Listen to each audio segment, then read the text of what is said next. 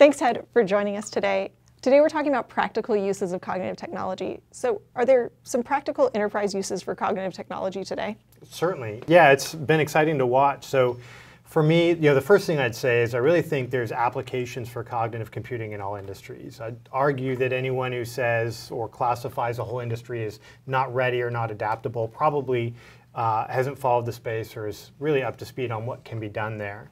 Um, so from then, you know, I, I, look to big businesses and what are the big challenges that they have to solve in any given year. There are um, a number of companies that really will have you know five to ten big business decisions that they make in a given year that are going to have a significant impact on their bottom line. Um, you know, will this drug or this medical treatment actually impact um, this particular health ailment? Is this the right place to drill for oil? What should we charge this class of insurance um, subscriber. So you know, these are big decisions that companies make year in and year out. Um, getting it right is the difference between the, the winners and the losers in certain categories. So not that the cognitive operation replaces the existing system that's in place, but the way I look at it is a cognitive decision and cognitive guidance should have a seat at the table should make recommendations and you should run through those really big decisions, all the different tools that you have at your disposal to make the best answer, not just the team, but also the cognitive operation that recommends based on larger sets of data.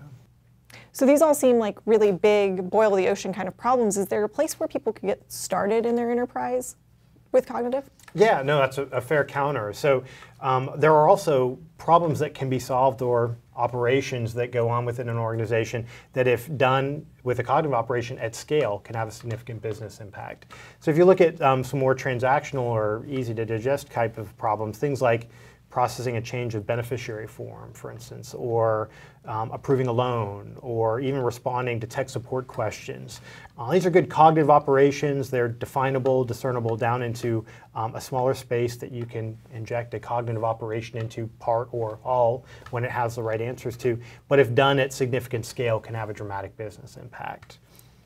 Well, thanks, Ted, for joining us and giving us a practical uses of cognitive. You can check out more videos on cognitive and digital transformation here on our channel.